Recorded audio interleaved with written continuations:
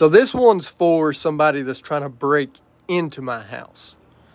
This one is for somebody that's already in my house. See the difference?